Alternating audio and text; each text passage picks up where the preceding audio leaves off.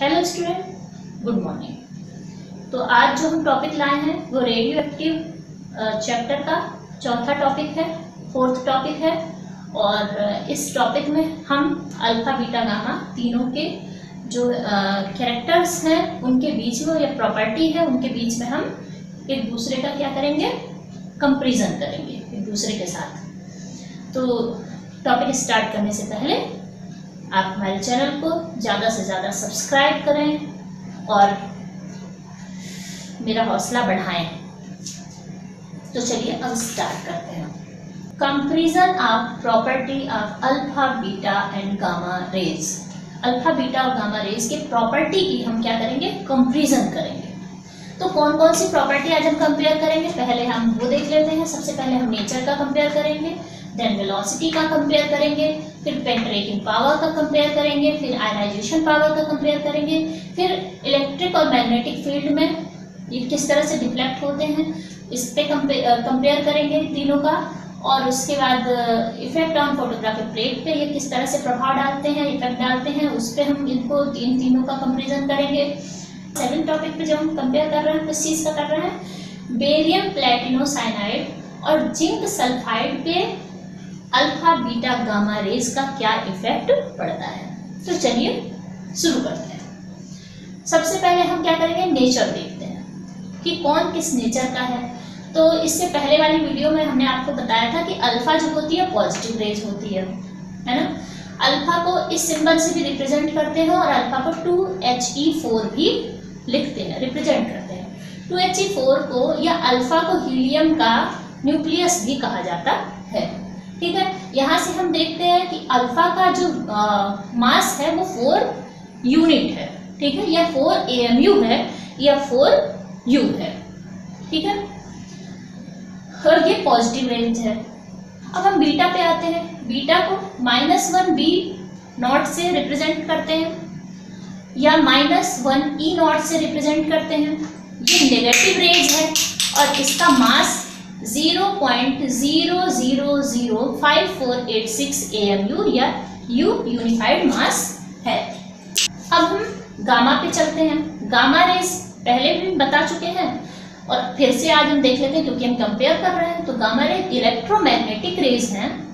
ये गामा इस तरह से रिप्रेजेंट करते हैं। इसका लेमडा वन एंगस्ट्रॉम के अबाउट होता है नियर अबाउट होता है। अब हम अगली, अगला जो प्रॉपर्टी ले रहे हैं, वो ले रहे हैं वेलोसिटी तो अल्फ़ा रेज की जो वेलोसिटी होती है, वो लाइट की वेलोसिटी की वन बाई फिफ्टीन टाइम होती है। ठीक है? कितनी? One by fifteen time of light velocity ठीक है? और ये लगभग जो निकल के आती है two into ten to the power nine centimetre पर सेकेंड होती है। ठीक है? बीटा रेस की अगर हम वेलोसिटी की बात करते हैं कि कितनी तेज ये चलती है, कितनी स्पीड से ये चलती है तो ये लगभग लाइट की वेलोसिटी के बराबर इसकी स्पीड या वेलोसिटी होती है और ये होती है 2.79 point seven nine ten to the power ten centimetre पर सेकेंड ठीक है? अब हम गामा की बात करते हैं।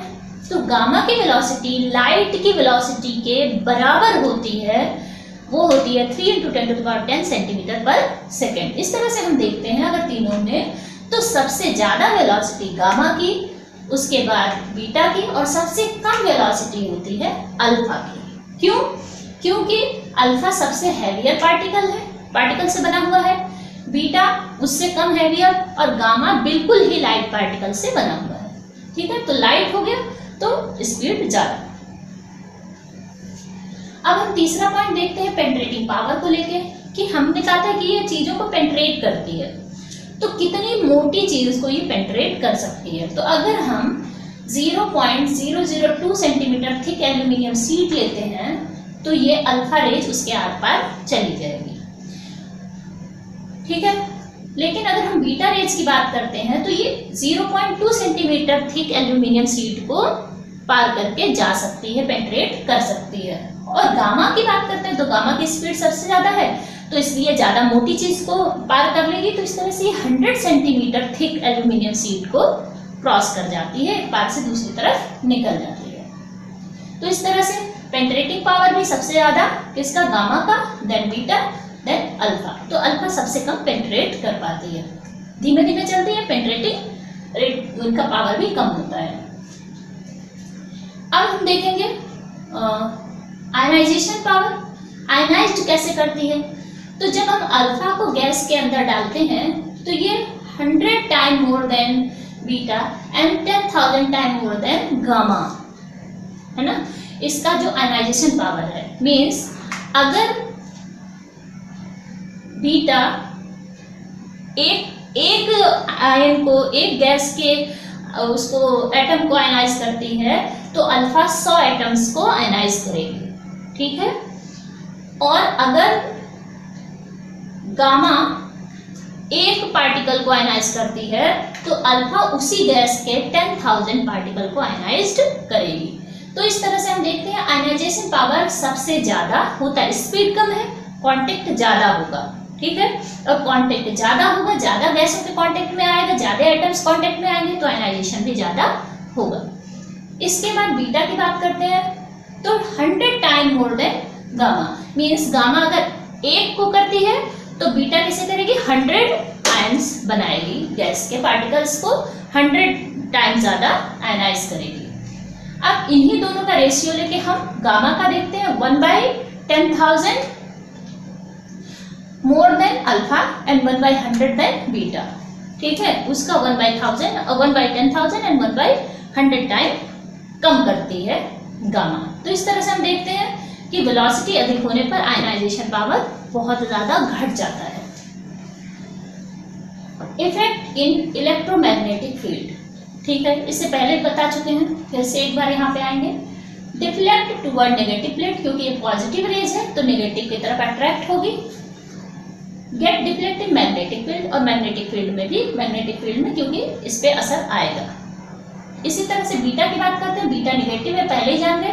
तो ये पॉजिटिव की तरफ़ जाएगा तो deflect toward positive plate deflection is more than alpha सबसे ज़्यादा, तीनों रेंज में सबसे ज़्यादा अगर डिफ्लेक्शन होता है इलेक्ट्रोमैग्नेटिक फ़ील्ड में किसी चीज़ का तो होती है किसकी? बीटा का। बीटा के बाद अल्फ़ा और गामा तो बिल्कुल होती ही नहीं है। गेट डिफ्लेक्टेड इन मैग्नेटिक और इसमें क्या है? नो इफ़ेक्ट क्योंकि न्यूट्रल है और न्यूट्रल पे चार्ज ना होने की वजह से ना ये पॉजिटिव की तरफ़ जाएगी, ना ये निगेटिव की तरफ़ जाएगी तो ये सीधे निकल जाएगी।